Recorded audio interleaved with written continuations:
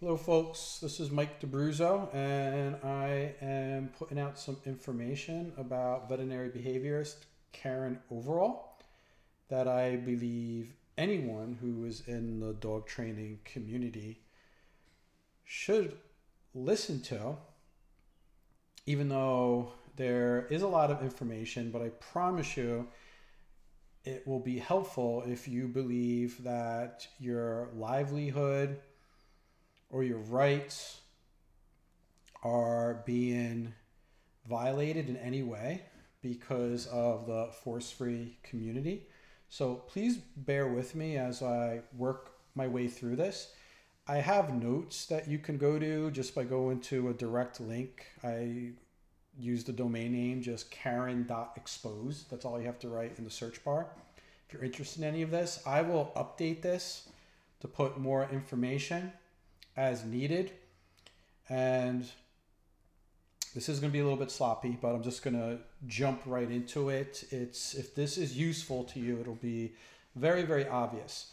Um, I went to, I attended a webinar that was hosted by Karen Overall, veterinary behaviorist, very, very influential because I am a dog trainer of about 30 years. I believe I am very ethical, worked very hard to learn the profession, like a lot of you out there. But before I was a dog trainer, I was a lic- I worked as a licensed veterinary technician, and I worked with research as a research as a research animal um, technician, and I also worked in in small animal clinics. So I understand, I understand I was in the trenches doing research as a technician, but I also, in order to maintain my veterinary technician license within the veterinary community, I have to take continuing educational hours, which I maintain the license mainly because I also teach at a career school. I teach um, um, students at a vocational school who are going entry level into the veterinary profession. And I also teach at the same career school introduction to animal training, animal training, and you know animal grooming and, and, and other things. But the point I'm trying to make is um, is I I I signed up and paid for a webinar because the veterinary community says that if I give this woman money, I am going to become more intelligent and I'm going to be enriched with new information that's going to make me better, right? And more knowledgeable to help to help the public. That is not what happened when I attended her her webinar. Instead, what I discovered is there's this whole world going on that um, professional dog trainers are not that aware of in the veterinary community where ethical balanced trainers just meaning i don't really like that term i just think there's dog trainers. I think all dog trainers that are effective are balanced dog trainers. Just meaning if you use reinforcement and you use punishment when necessary you're a balanced dog trainer. Well the webinar turned out to basically just be an attack um, unbalanced dog trainers and telling the veterinary community to not send your clients to them. That's the message that is that is told in the webinar. There was no new information and the information that was presented was completely misrepresented and, and false. And I am sure of it. I cannot see a way that she is not violating her own AVMA code of conduct. Um, I also cannot see how she's not violating guidelines set by the Fair Trade Commission. Now I'm going to go into details. Um, I want professional dog trainers. If you, I've dealt with this for 30 years. For 30 years, well-meaning, ethical, humane dog trainers are arg- arguing with things that you should not have to argue about. About force free, you know, about being a humane trainer and not being abusive just because you admit to using punishment humanely in your training and because you admit to using tools that are the best and humane for the cert, for a certain job. Now, what has happened through the years, which I learned, it's very similar to that old Aesop fable about the tiger arguing with the, the donkey about the tiger saying the grass is green and the donkey is saying the grass is blue and they take it to the king of the jungle the lion and he punishes the tiger sends him to jail. The tiger says why did you send me to jail? And he said you should really know better to be arguing with the donkey that doesn't know what he's talking about. And it's just fruitless. And that direction professional dog trainers who have been getting their rights have been getting violated have been taking that approach for way way way too long. It is not something so when i present here i don't want to i'm not here I'm, pre- I'm preaching to the choir. I'm not going to be convincing anyone about what's reward and what's punishment and what's humane and what's not humane because i think those days are are, are, are really done. At this point, it really does need to be treated as a legal issue. If there's going to be any sort of movement in the right direction, is that's what we're really dealing with. And Karen Overall, she is. We're not talking about Victoria Stilwell, who is, you know, just an, an actress, right? Playing a playing a dog trainer. You can argue that maybe she just doesn't know know any better. This is someone who is the editor in chief of the Journal of Veterinary Be- uh, Behavior, the official journal of like all the countries where the where dog training tools are being are being banned. Um, it is if people go to school and they want to be a veterinary behaviorist, like this is what they're what they are reading. She is a publisher of a of a author of the Manual of Clinical Behavioral Medicine for Dogs and Cats, which is the recommended resource for practitioners of the American College of Veterinary Behaviorists. It's a recommended resource for veterinary behavior technicians. It is she is a resource, like she is the resource for the veterinary community when it comes to behavior. And she's putting out lots of false information, misrepresenting scientific studies, even though she we know that she knows better, she is even misrepresenting basic operant conditioning in these webinars and everywhere that she's teaching. And this is someone who is putting out hundreds of pres she's she has had hundreds of presentations to the veterinary community. She is considered one of the most influential people in the dog world. In the webinar that I attended, she was just flat out, without any evidence, telling the veterinary community that if you send a dog, if you recommend a dog to a balanced dog trainer, which is just a dog trainer, instead of going to the veterinary behaviorists or to like a force free trainer, which is not even a real thing, as you're going to find out, they're just as much punishment as anyone else. It's just in her pipeline to her community that they're more at risk for euthanasia. They're telling the veterinary community that there's like proof that if you send dogs to balanced dog trainers, they're more at risk for euthanasia. If you send, let me see, dogs who delay seeing the specialist because they saw a trainer who uses forceful techniques can worsen and may be more at risk for euthanasia and dogs who see specialists but are also try even tried balance training become worse and more at risk for euthanasia. She is not she's saying things like this in this webinar to the community. This is this is not even this is not even legal what she is doing. What she's doing to a whole profession. It's definitely against her code of conduct. Um, talking about um, any trainer that uses, look what she says about prong collars, right? This is not about if you prefer to use a prong collar or not.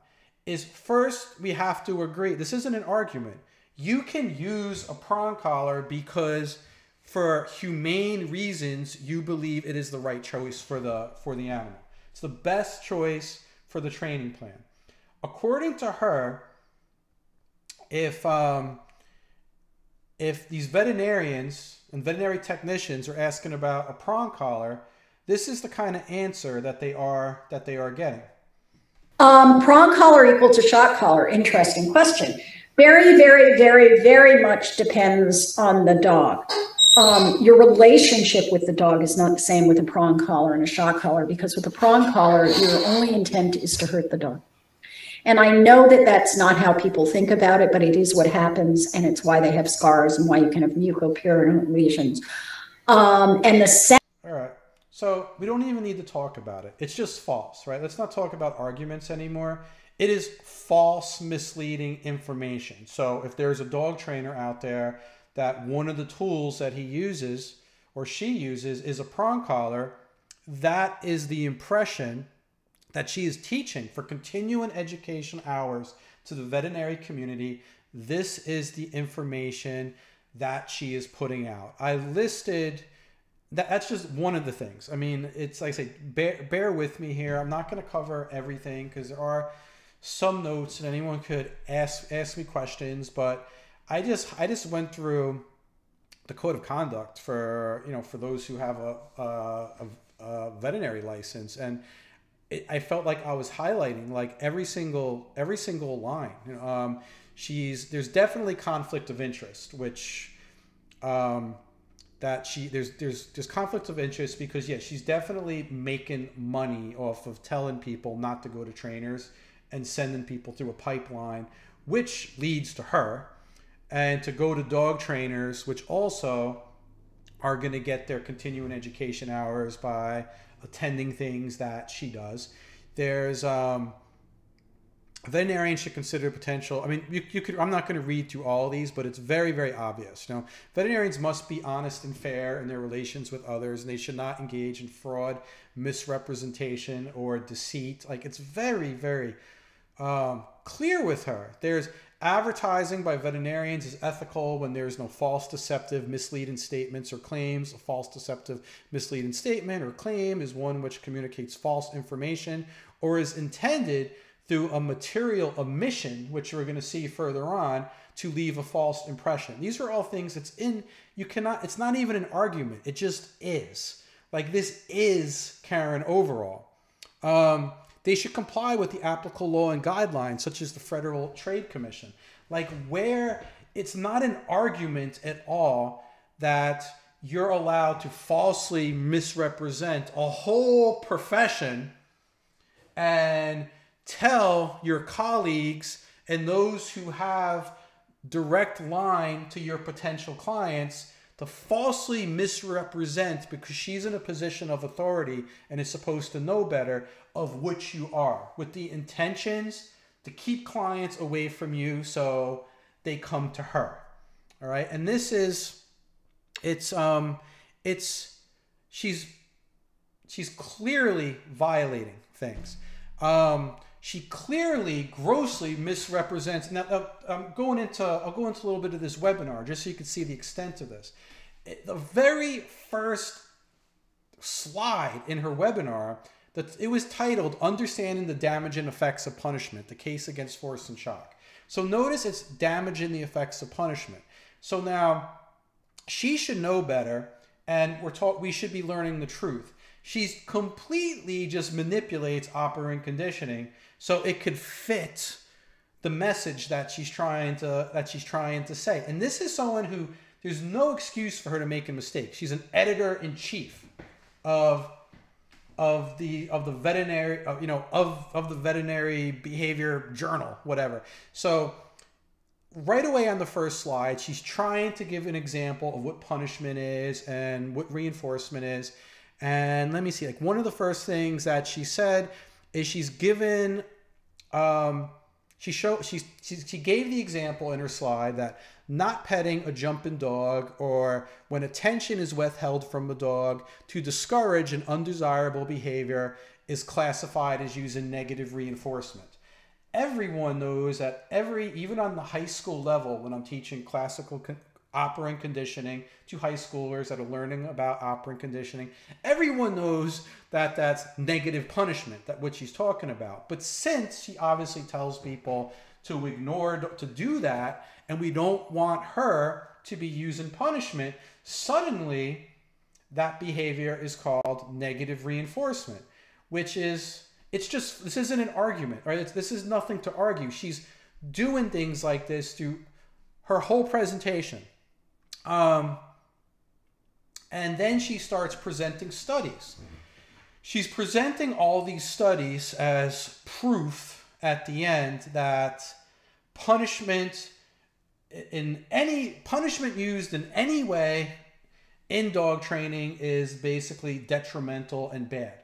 And the first study that she goes over is just it's an old study from 20 years ago and I can I have the links to the studies. You can look them up. You can you can read them. The first study was based off of um, dogs that in the study were being trained very very harshly, and um, being trained very harshly for what is it for like IPO training by by dogs that were clearly being mishandled, and then these same handlers that were clearly mishandling the dog when you read it did not know what they're doing. They also then gave these trainers um, electric collars where they were clearly doing all the poor techniques that they were doing without any training tools on the electric collar. And then what they did is they measured the stress signals from the dog. And because these trainers that were already handling the dogs harshly by all standards, um, and you now gave them an e-collar and they're blasting the dog at the highest level with no kind of like structure to it whatsoever that any professional trainer that went through any sort of real vocational course with many of the there's there's so many different routes a trainer can go now to learn how to use tools the right way. They use this extreme example of extreme harsh trainers and just showed there's more stress signals if you give crappy trainers a device that they don't know how to how to use.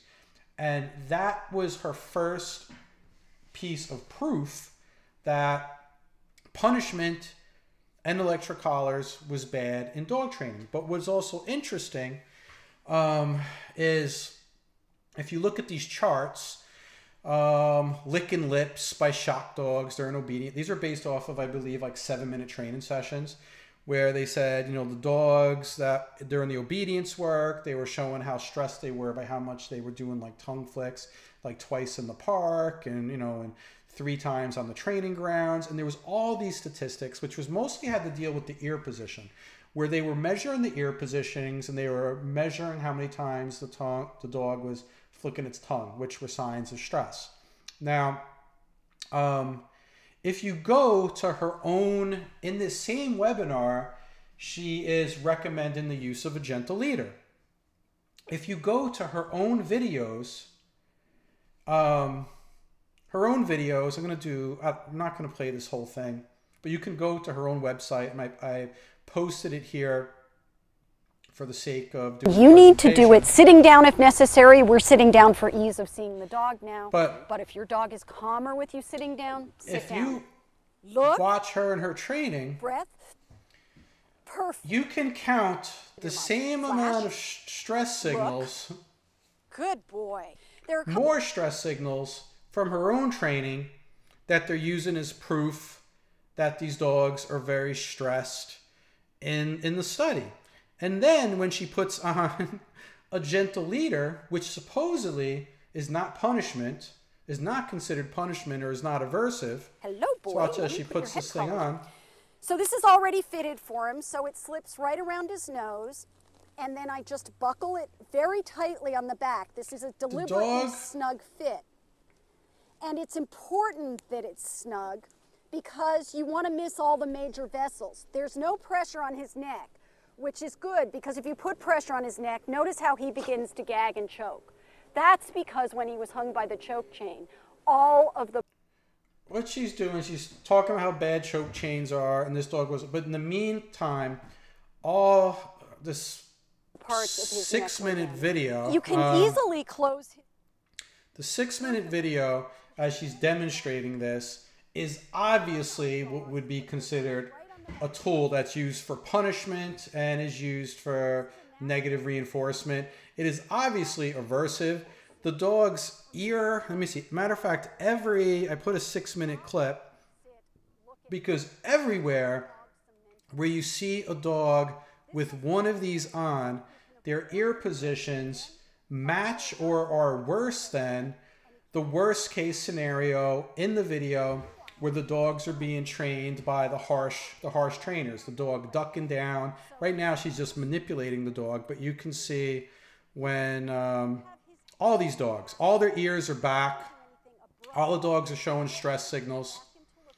And she goes on talking about how you step on the leash to pull their head down if they're looking at you in the face. And and it's just six minutes of of stress videos. But the point is it's it's her first proof of why punishment is bad is that harsh trainers if you also give them electric collar there's going to be slightly more stress signals than if they were just jerking around the dog on whatever else they were using at the time. But it also matches what you happen to see in her training video with also an aversive collar, which she which she does not say she she does not put that it um, volunteer that information that gentle leaders are actual punishment. And if you put a gentle leader on one of these trainers that are training harshly, you would get at least as bad results.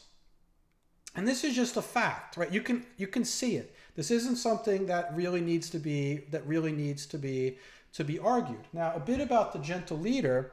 I did put where did I put it? Somewhere in all this. Um, I have a I have a um, a link to an article when the gentle leader first came out. Oh, here it goes. I have a link over here. Um, ugh, this is making me dumb. All right, to log in or something to the to the article. But when I first started, when I was working in animal hospitals in the '90s, the gentle leader was patented. It was patented by a veterinary behaviorist, and it was marketed to veterinary hospitals both the veterinary hospitals that I worked in had a display with these things on. And it was never ever marketed in the beginning as like not a punishment device. It was actually opposite. You can see in the, let me see, from the inventor itself and the articles, and it was called power steering and fingertip control, mimics a pack leader putting its mouth around the mouth of the other dog, applying pressure to the top of the nose to show dominance. This is from the inventor. And you can hear her saying the same thing. You can hear anywhere where this thing is marketed that it is clearly an aversive device. It has never ever changed. The only thing that has changed is the community, the force-free community, Karen Overall, it's being approved. The, the, the veterinary behaviors community has no accountability, and they've been telling everyone, it's even in the Merck manual, the thing is not described as a punishment device. Even in the Merck veterinary manual handbook for veterinarians, where it says where to send your your clients for training, it says don't send them anywhere that we're going to use punishment, but send them to someone who could use will use a gentle leader, which is punishment. It is complete fraud, right? This is not an argument. It is. We're talking.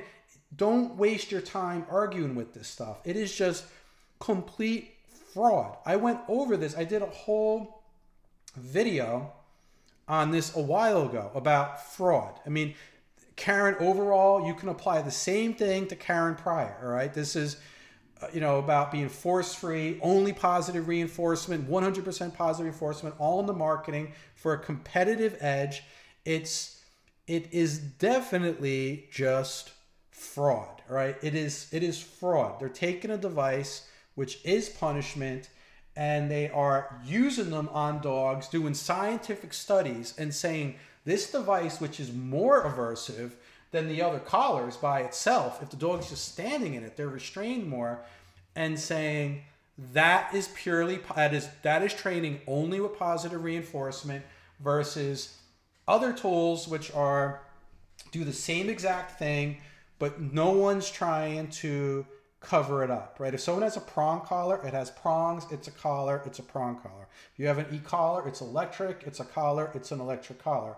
But a, a, a, a, collar that constricts the nose and twists the head, instead of being a neck twisting collar, it's a gentle leader, right? This would be like calling, a, it's just called a prong collar, a gentle necklace or something, all right? And then suddenly now it's no longer what it really is, what science says it is.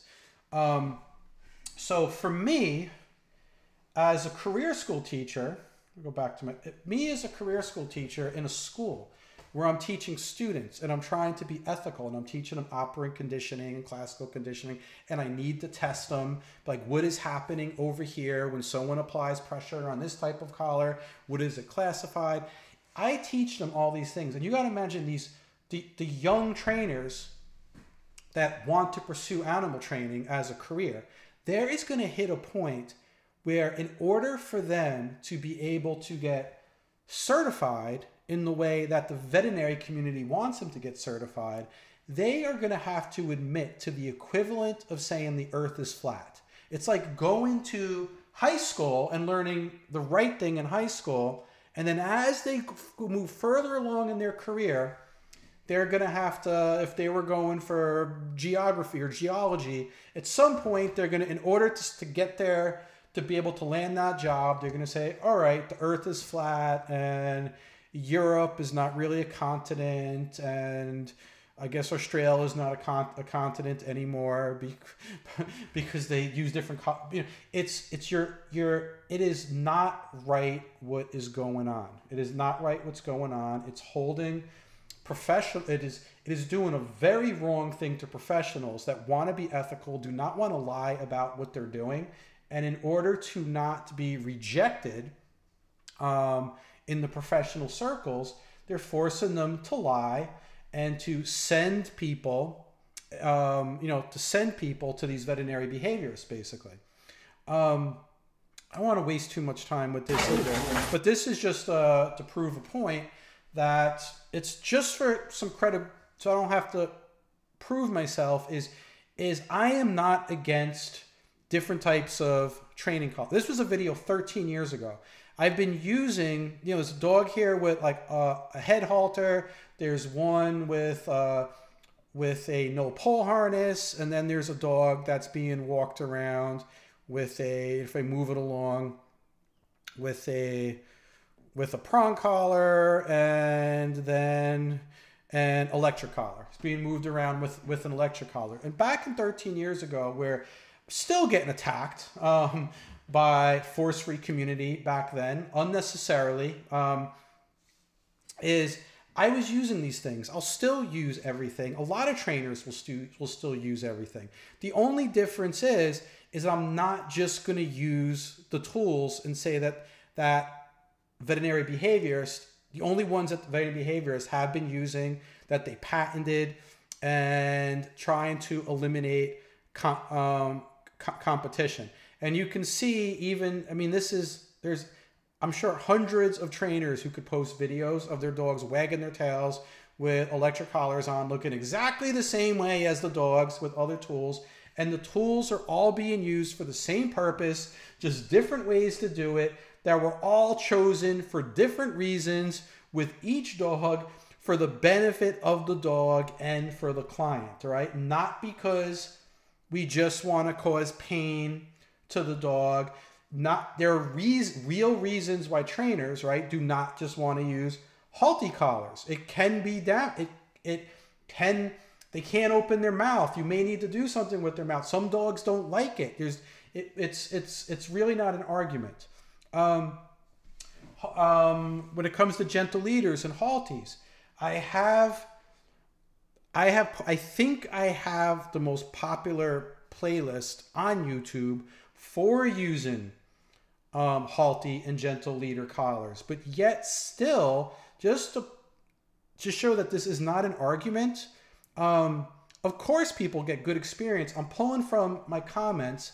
I'm not going to read these, but I get a lot of comments about traumatizing experience that people had by trying Halti style and gentle leader collars where the dogs are, are panicked, they flip out, they rub their face on the floor, they're bleeding, they try to bite them. These are all comments from my own videos. And I believe that I show how to use these just as humane as anyone that uses these.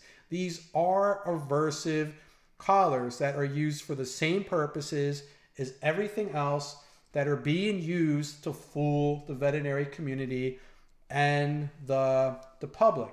Now, the other thing, just talking about Karen Overall, huge violations over here. You think she would know better. In her own literature, she's saying the gentle leader is good for dogs that have cervical neck damage involving disc bones, nerves, or muscles. Yet anyone else in the whole community um, pretty much agrees that that's the worst thing. That's the worst tool to put on a to put on, on a dog that has cervical neck injuries. Um, not only is it generally safe, but this pressure is the exact kind of signal dogs communicate to other dogs when they wish to control them to stop. Stop is punishment, right? In her own literature, she doesn't, it is basically confirming that it's a punishment device. And also, she's misrepresenting about, she wants to make sure that it's considered like gentle and safe which it takes is just as much care as any other training collar to do it the right way. Any inexperienced person, even children, could just put the put this on a dog and just walk it. All right, that's what she's saying. The most common complaint is that some loose lip dogs bite their bite their lips. Not that they flip out and like make themselves bloody and all that kind of stuff. She's saying they're not cruel, uh, cruel or humane. Yet and, her, and she's saying to put dogs, it's okay to put a dog on a 50 foot light line on a head halter to do recalls and to and to tug it. No, not at all mentioning that this is potentially very dangerous to the um, to to the to the, dog, to serve. That there might not that there is safer things that you can do than to have a dog run around on a 50 foot um, long line on a head collar. Now, from her own literature, I'm just showing that there's bias, professional bias towards anyone to do it. Everything, anything that she writes in her literature, her professional literature, is doing nothing but saying prong collars do incredible damage, that they get embedded in the, in the skin, and that these collars, if sharpened, as is often the case, also intend to employ pain and encourage the dog to attend to the person. Like this is not an argument either. I've been in this field for 30 years. It is not common for people to sharpen prong collars. It is common for people to to favor the prong collars that have rounded edges. So they do who wants to deal with a medical issue when they're training their dog? It is just false. And we're not even go into, she talks about how the dog's dominantly aggressive, the response can get worse, but yet in other parts of her literature, that's a whole different subject that dominance isn't something important that you should worry about. All right. So it just goes on and on. Shock, shock collars.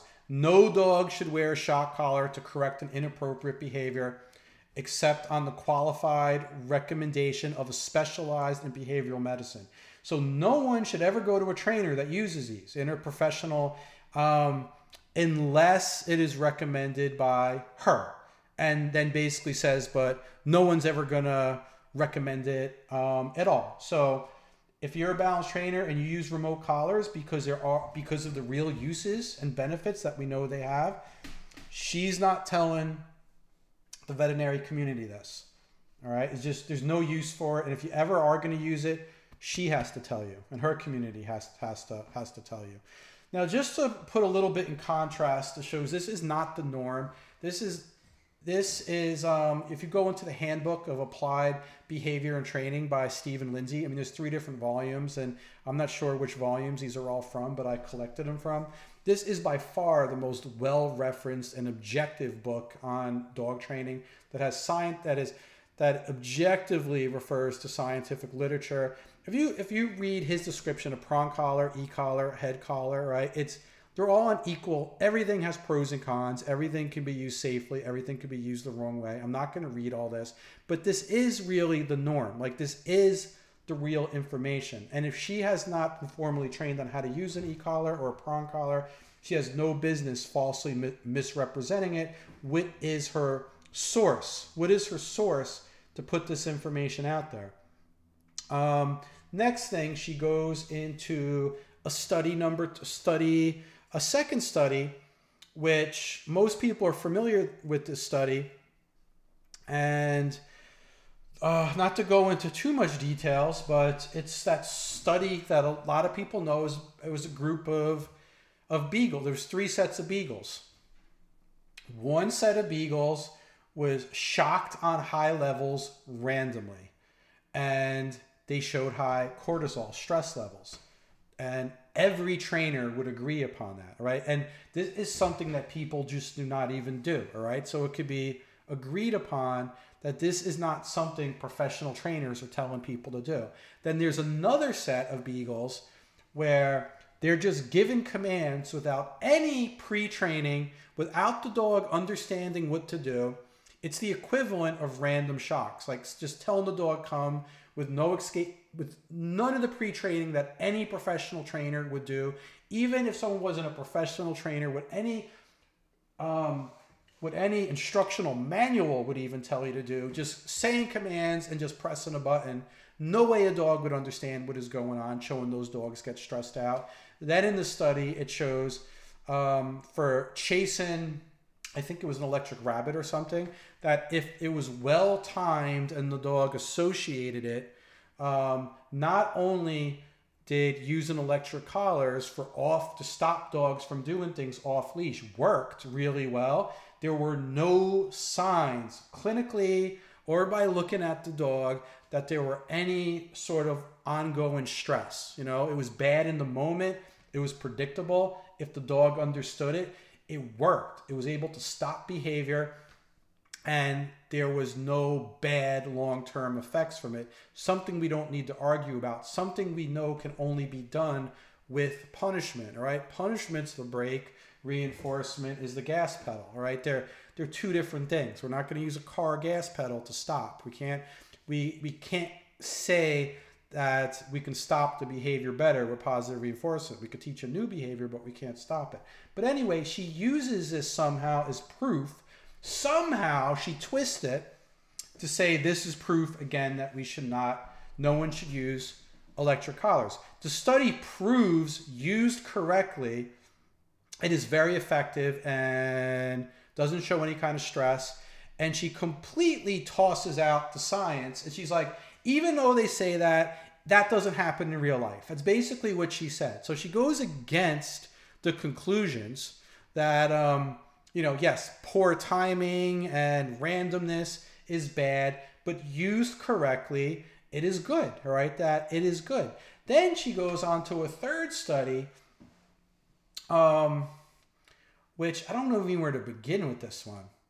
Efficacy of dog training with and without remote electric collars versus a focus on on positive reinforcement. I, I, I played around with with uh, with just turning it into a fairy tale. It's you would think the way it's presented, what you would think is happening, is oh this is we could talk for two hours just on this. I'm to try to try to make this brief. It's supposed to be proof to the veterinarians that are not reading this that they're leading you to believe that there was a group of dog that they had these people that complained that their chief complaint dogs off leash chasing after livestock um, showing aggression off leash over other dogs off leash control problems.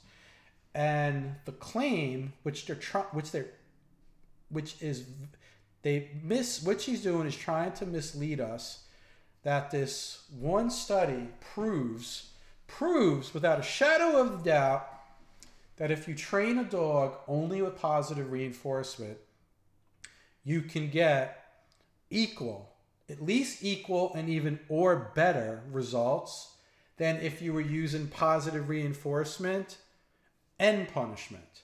And because of that, it is it's it seals the deal that there's no use at all for because people could use them incorrectly like any other tool and they could cause stress and there's no proof in science that that it works better than just using positive reinforcement that there's no rational reason to use electric collars or even punishment for that matter. It's not just electric collar pun- even even punishment.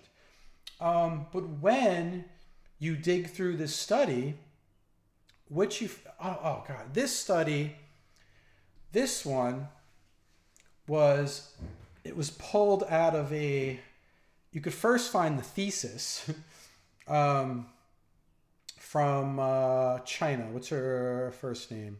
I don't know. Um, was it Lucy China? I don't remember. Last name China, the, the researcher. It was pulled out of her thesis. In the thesis, her purpose of the study, it said basically to help ban electric. This is a study.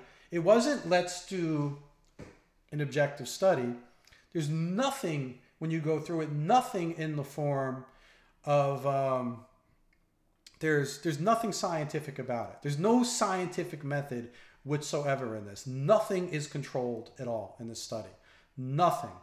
Um, um, the dogs are trained in different places. You all have different collars on by different trainers. It is not a controlled study at all. Um, in peer in peer review, this study is torn to pieces in peer review because they always want to talk about oh these are peer reviewed. Even in peer review, if you look up this study, I don't have to I don't have to go into the details. It's just torn apart. What it said it's supposed to prove in no way proves. Matter of fact, even in peer review, they said if you just look at the bad data to begin with in a different way, for instance, um, here we go. Like if you like, they say it is better because oh, here's training with how close you know how close how quickly a dog responded to the to the come command you know over three days because the average of the time over three days was quicker with only positive reinforcement therefore it is better than using an e-collar or using an e-collar you know and positive reinforcement. However if you just look at it differently the dogs got faster by the end of the training versus slower you know faster with aversives even though the kicker is there was there was never a positive reinforcement being um, tested to begin with. We, you know we get we get to that part.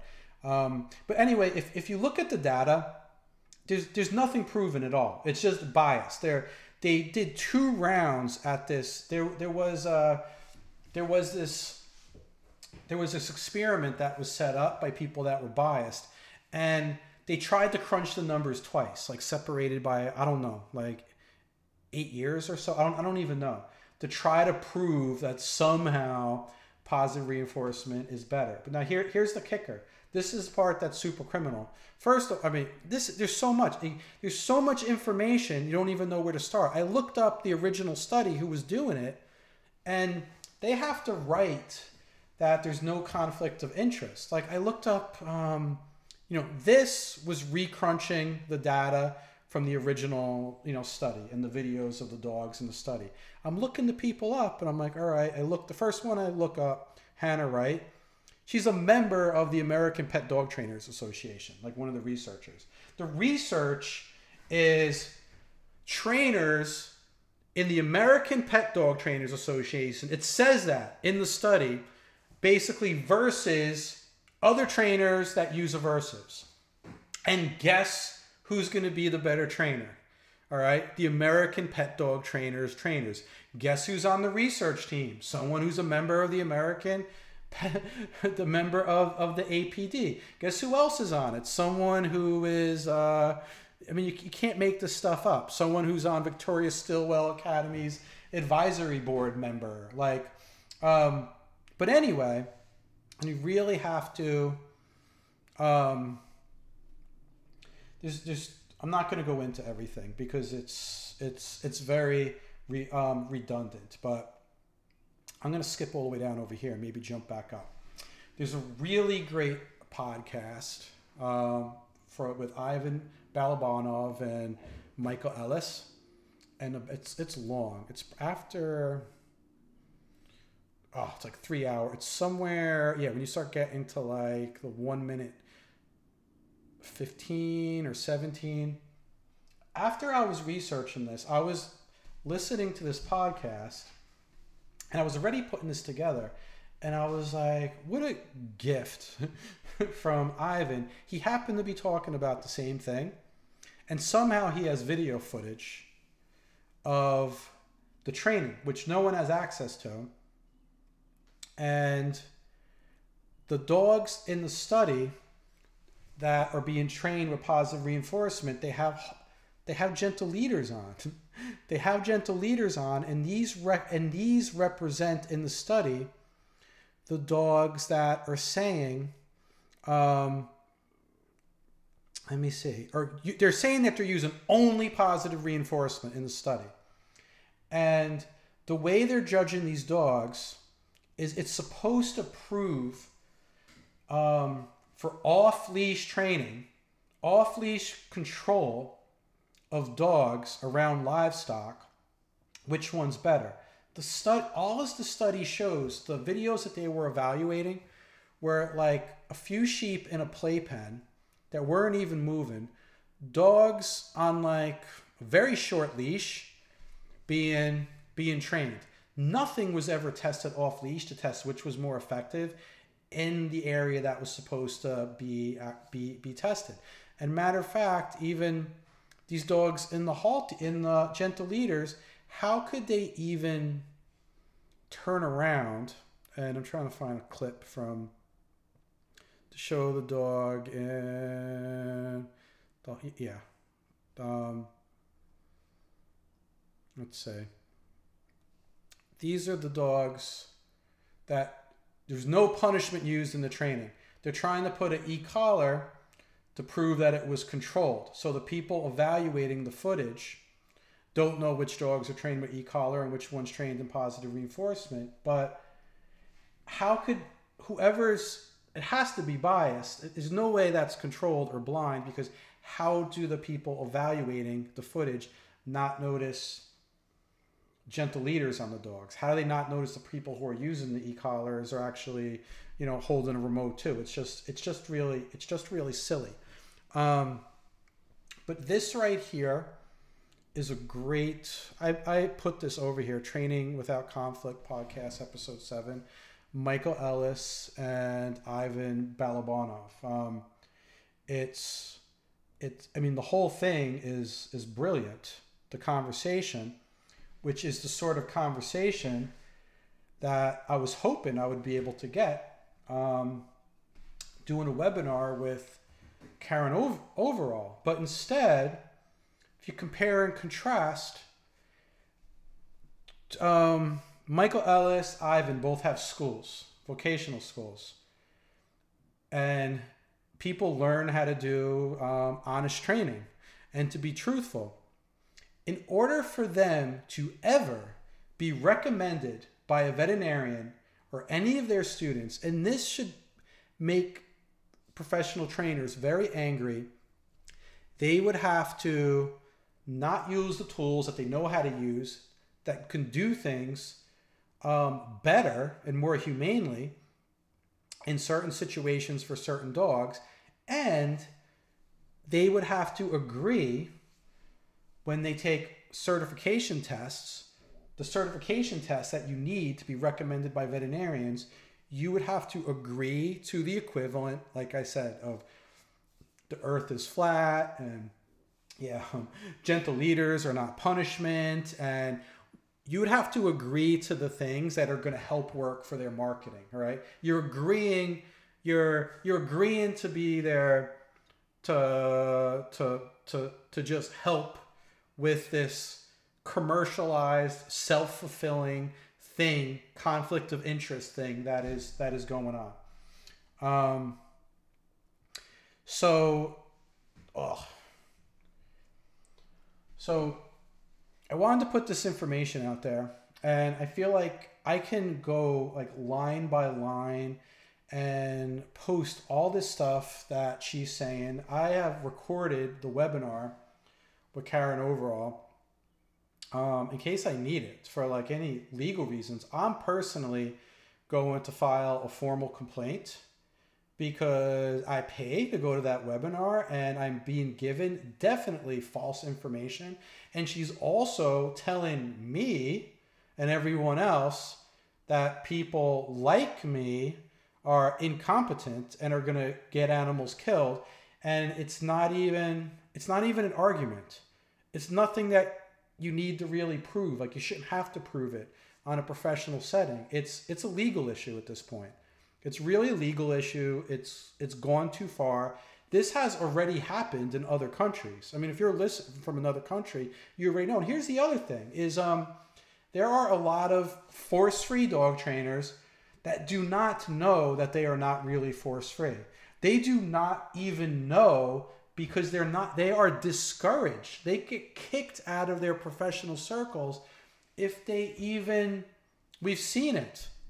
If they even communicate with trainers that have been doing it for decades and have a lot of good information to give and are doing things humanely and have no problem training their dog in public in front of everybody without hiding anything. In contrast, it is these force-free trainers that are hiding, right? They cannot, they will not train. Even it's at the point where there are so many lies, you I don't even know how Ivan got that footage. They would not even be able to show that footage and anyone take it serious and say that was proof that these dogs um, listen better off leash around around all these distractions. The proof was after they did that. Completely, I'm not going to go. It's too, it's it's too many details this would be too long. Um, there's no need to go into the details because it could always be proven, easily proven, that the dogs were never tested to see which one is better in those situations. And you would not even have to prove it because it doesn't even make sense. From a theoretical science point of view, it doesn't even make sense what they're claiming is happening is actually happened. And they got their results by biased, you know, they let, you don't, none of this information is in the study. It gets you find it in bits and pieces from from different places where even the dogs and nothing was controlled the the owners of the dogs got to decide if they wanted the dog to be trained one way or the other. If they did not like e-collars they could prove their dog they can have their dog trained by the positive reinforcement people. And then they based it on surveys that said how satisfied they were with the training. Never were the dogs ever um, tested off leash um, off leash control in these situations that it was supposed to prove that this was better than that. And not only that, the the the um, regurgitation of the study didn't even include surveys of the owners after the dog went home. This one, the proof that the dogs did better was during the training process. It was they were looking at the dogs day one. They're recording and the dog isn't even trained yet. The results are based off, oh, did the dog respond to the first command? And those who are using mostly positive reinforcement, that they they used five times as amount of words in 15 minute sessions, which were obviously just had the dog on on Haltis and were just giving them treats. Probably already came knowing what sit means, knowing what come means. There was nothing to even teach them. They were basing it off how quickly the dogs were just obeying on a short leash that they cannot even turn their head to face the sheep if they wanted to, and they couldn't do it anyway. And that was proof that these dogs are now trained off. I mean, it would be so great if it was that easy. If you read these studies, like it was based off of like five days, two 15 minute sessions, and supposedly just with treats, the dogs now have good results where they're not running after livestock, not charging after other dogs, all these things it's fixed. It's it's a fairy tale. It is nothing more than a fairy tale. And the problem is is there's no accountability and laws are happening because of these things. Um, owners of dogs are suffering. They dogs are not having the same amount of freedom. They're not they don't have quality of life. It is not about the dog or even the owner anymore. It is 100% for selfish reasons why this stuff is happening. With at least the people who should know better. I know there's a lot of people that don't know better, that are brainwashed, and it makes sense that they're brainwashed. How would they not be brainwashed if they are trusting people to give them information that are supposedly the authorities on this stuff and it is worse information and less factual than students are getting in high school. It's just it's a shame. Um, so if for some reason Karen Overall ever watches this uh, shame on you. You're a fraud. I hope you come try to sue me or something. You're a joke. You're an embarrassment um, from someone as part of the veterinary community, as a teacher, as a father, as, as, as a decent human being, as a veteran, is you are shameful. You're despicable.